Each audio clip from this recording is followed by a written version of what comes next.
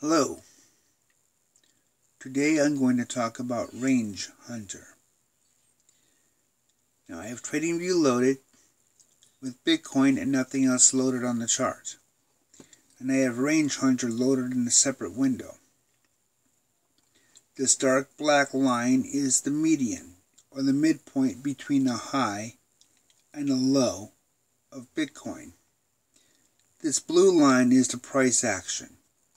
Basically this here simplified. Now what we're going to do is simply merge this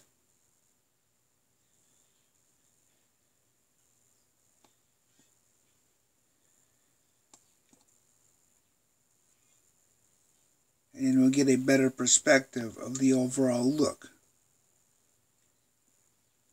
Okay, so we want to move the range hunter window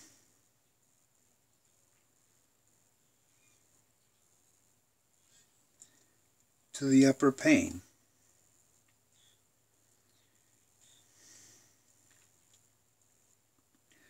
Now when we do this at first, the two windows are not going to line up.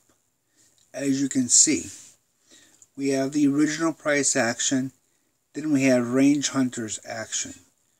So now we have to line up the price charts. So we come back up here. Now the Bitcoin price chart is called uh, the A chart or panel A. Scale A is what it refers to here. The range hunter scale is B.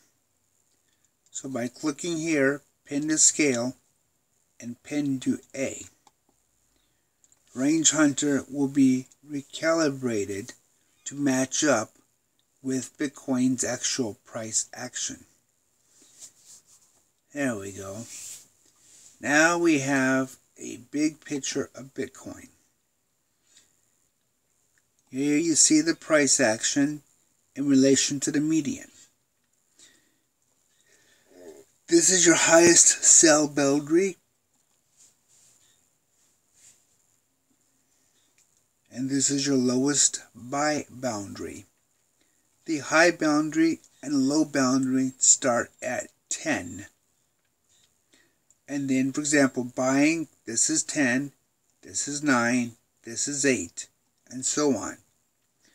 For selling, this is 10, this is 9, this is 8, and so on. Now, this is a pretty flat or ranging aspect. Each channel is 10% of the total between the high and the low. Now let's go up to the one hour mark and get a longer term viewpoint of Range Hunter.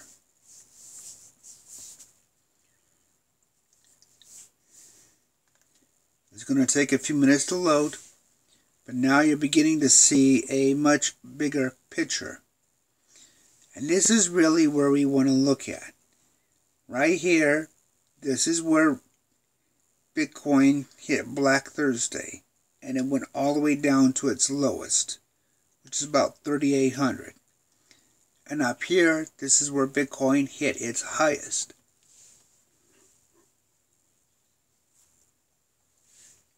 This is on the basis of the current year.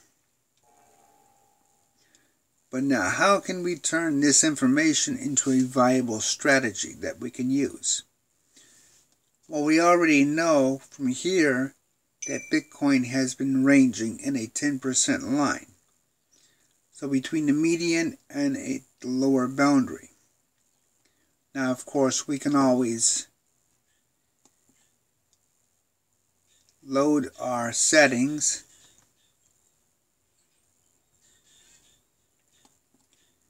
and we can actually begin scaling down the buying and the selling to get to the range we want.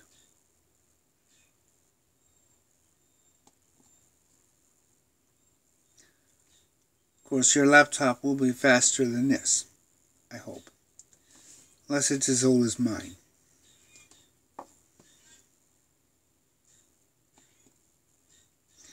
There we go. Now, Range Hunter has recently undergone aggressive modifications for its auto boundary detection. As you can see, it does pretty well right now. So we're going to go ahead and leave that alone.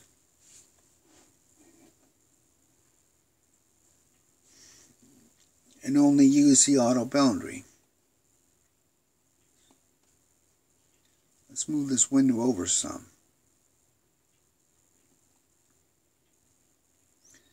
Now, as I said, this is the 10 boundary. 9, 8, 7, 6, 5. So we want to set our sell boundary to number 5.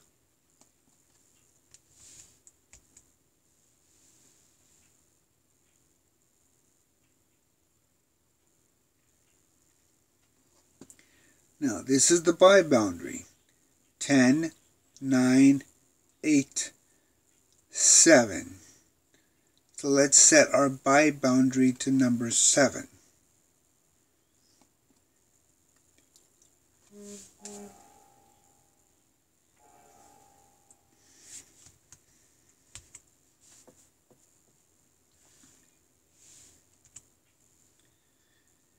And it will recalculate and you will see the chart change appropriate to, we should see buys here, we should see a buy here, and we should see a couple of buys here if they crossed.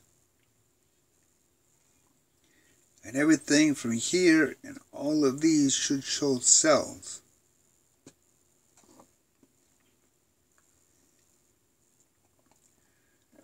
Range Hunter is a long term mindset. It's not meant to be fast. It's meant to look for these kind of situations. Like from here to here would be a huge profit for a short.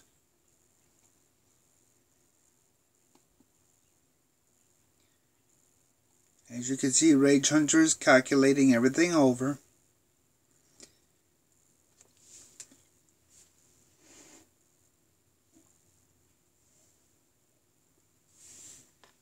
Can use Range Hunter by itself, or you can use it with any number of other mindsets that Jackrabbit supports.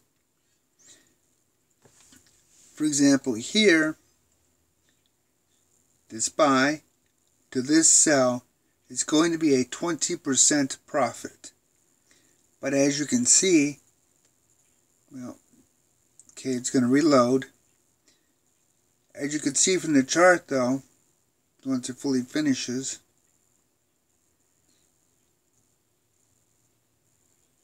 it took almost a month to set this up. Now, if you're in a one minute chart or any of the other charts, it's still going to take a month. So Range Hunter somewhat doesn't pay attention to the time frame. The time frame just shows you a different picture. But it just waits on the market for it to achieve its results. So while you're looking at your different pictures, your different time frames,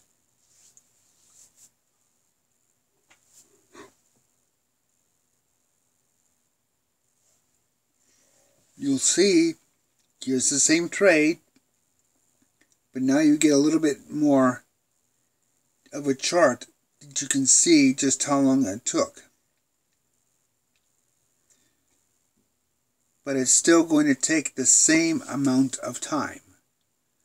And that's important when you're dealing with Range Hunter. Range Hunter is about patience. And now here, because at this point you don't know what your stop loss is going to necessarily be or if it's going to do like here and drop. So right here, kind of a sneaky tactic would be to use this boundary as a stop loss. That way, if it hits this boundary at all, it sells out. So this is a good way to be able to build a dynamic stop loss. And that dynamic stop loss can be used for any other mindset. You don't necessarily have to use Range Hunter for buying and selling, but it can be used for dynamic stop losses. It can be used for market perspective. It can be used for a wider range of market analysis. So don't necessarily limit your thinking when it comes to Jackrabbit's mindsets. Many of these mindsets can be used in very unconventional ways to create very interesting layers. And that's what Range Hunter is, is a part of that layer. Where you may not want to use a long-term strategy to trade on, but you might want to use a long-term dynamic stop loss to prevent serious losses. So Range Hunter has a lot of capabilities in that regard.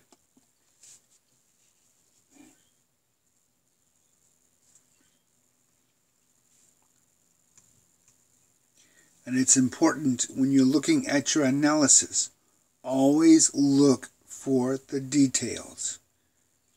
Again, we're looking at the same information, just the different details of how spread out these transactions are.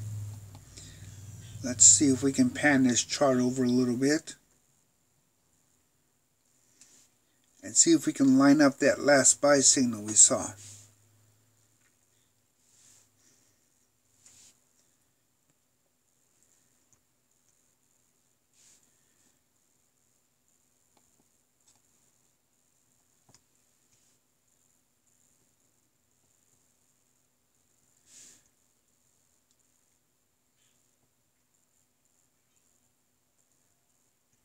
Okay, it's going to be stubborn.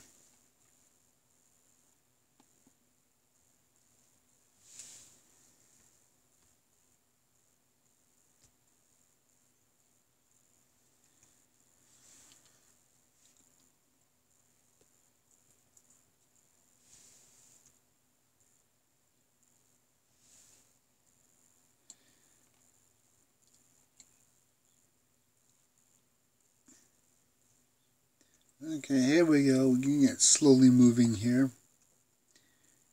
Remember what I said about Range Hunter being math intense. It's always looking at your data and always breaking it down into these ranges. So it's important that you're aware of that when you're working with Range Hunter. Give yourself plenty of time to run into little unusual situations like what I'm facing right now.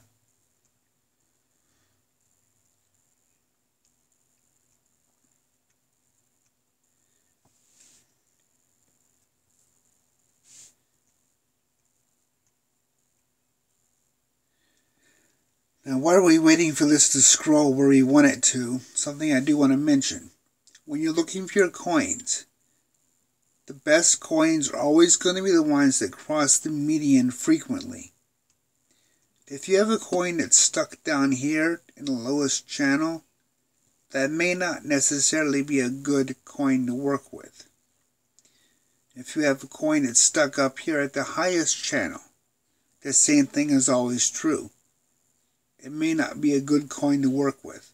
You want to see these kind of fluctuations around your median because that means the coin has reliable volume and reliable price action. But it will be ranged limited on very small time frames. That is just the nature of the whole system. So if you're going to look at the one minute or even the one second time frame, you're going to see a 10% range guaranteed. If you see a coin moving more than 10% on a one minute time frame, that's a sign to get out of the coin. That's not good. You don't want that kind of a drop on a one minute time frame. That's very bad. So you could use Range Hunter in that regards depending upon the time frame you're looking at, to actually set up a physical dynamic stop loss at a 10% drop. Now you would have to keep track of it and adjust routinely where those boundaries are.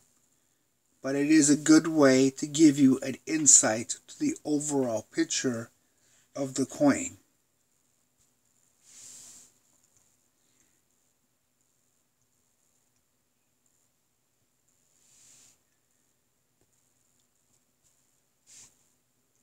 Okay.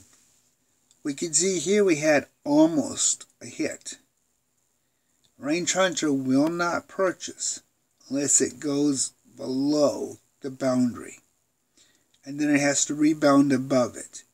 Going below it is not enough to signal a purchase. Same thing with selling.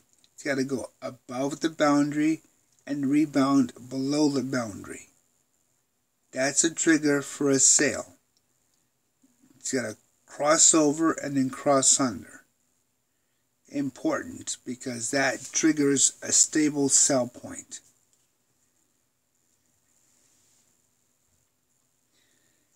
Now this one's a little bit harder to tell, but the price action broke the boundary and then rebounded. From the standpoint of range hunter, that's a viable signal. And range hunter does actually watch that type of behavior.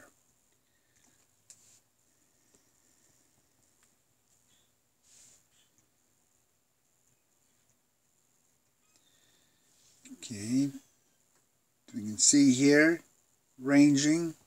We can see over here ranging. And we are not scrolling too fast here for some reason.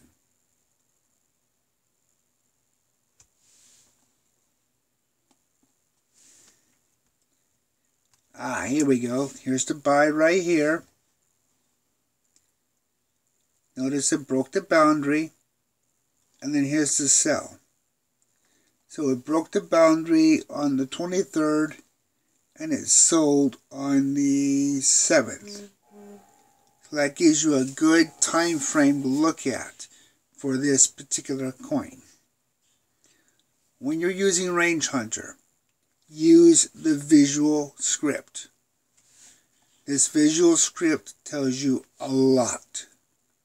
Even when you're not using Range Hunter directly, and you want to give an overall picture of where the asset sits. This gives you a good perspective just for that. The one thing though you need to be aware of with Range Hunter, whenever you use it, it is long term. If you're going to spend almost a month waiting for a transaction to take place, don't spend that month waiting for an $11 position. Make sure your position is appropriate to the amount of time you are waiting. If this is your only trade, you're not going to break even unless you have a $50 or a $100 position. For example, in a $100 position, we have a 20% variance that's going to be a $20 profit. Is that enough to break even? No. You actually need to have a $200 position for a $40 profit. So think about the duration as part of your position size variables. The longer you have to wait for a trade to complete, the bigger your base order has to be to make that profit. That is a very important consideration when you're looking at your time and duration, which is why I heavily recommend you mix long and short strategies together. For example, you could use Range Hunter to pick up low boundary entries here but use a regular scalping strategy to sell them way up here. So you're getting the best of both worlds and you're layering your purchases so that one single sell point will rack them all up into a single profit. It's the same thing with Knife Catcher. Layer your trades to think about both long and short term. Knife Catcher is not as long as range hunter, for the most part. But if you're looking for a 10% knife, that might take a while to get it. So again, base your amount of waiting appropriate to the position you're purchasing. Range Hunter is the longest term strategy Jackrabbit offers. You can hold for a few days, like here to here would only be a few days for a nice 10% profit. You could end up holding for a month. You could actually end up holding longer, depending upon your particular strategy. So always think about that strategy on the basis of how long you want it to work. For example, here's a good example. Up here, this is boundary number 10, sell boundary 10. This is my boundary 10. This is very unusual to see boundary to boundary hit, and it usually does not take place this fast. This is a relatively quick motion. You're looking at about a full month here. Not all coins are going to have that kind of a setup. So if you want a buy down here and a sell up here at the highest boundary, it might take you a year to wait for that position to line up just right. Now, if you're going to wait a year for that kind of a profit, and this is pretty much a 100% profit, then you're going to need to have something that's going to really equal that time and risk. Because this can go bad anywhere along the way very quickly. For example, let's get to the next highest level and see just how bad it can get or just how long it took.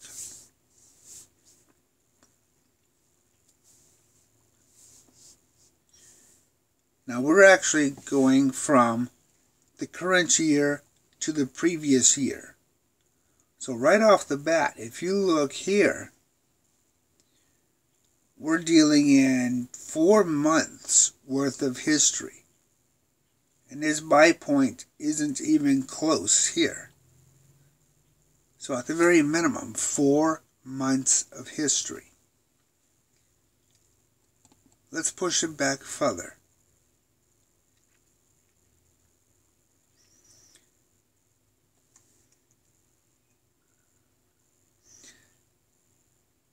Okay, now we're getting a very long-term picture. And as you can see, if you were waiting for here on a buy point, you wouldn't have been able to put your purchase until way back here in 2019. April of 2019, and then you would have sold off July of 2019 you wouldn't have got another 10 boundary purchase at all for almost a year. And it still hasn't gotten to that point even now.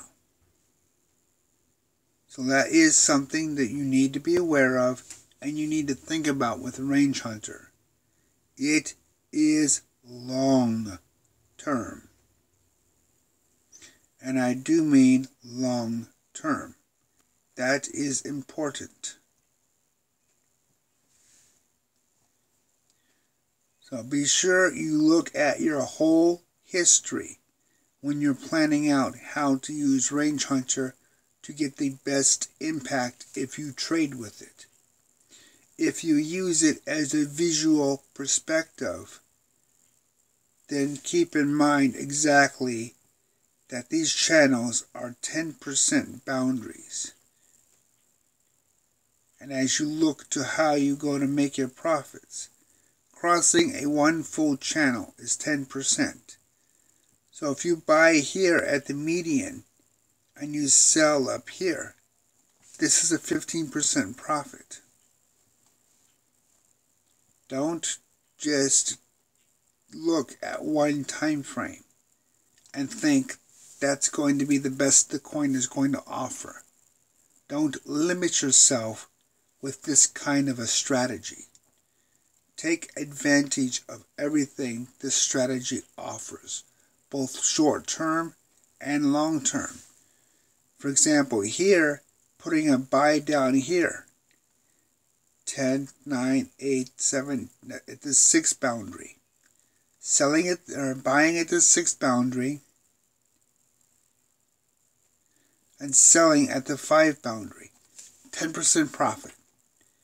And right now, as you can see, this is pretty much a very flat range. It's not going very far very quickly. That's scalping territory. And yes, in this case, for Range Hunter, 10% is a scalp. Keep that in mind when you're looking at the various ways to apply Range Hunter.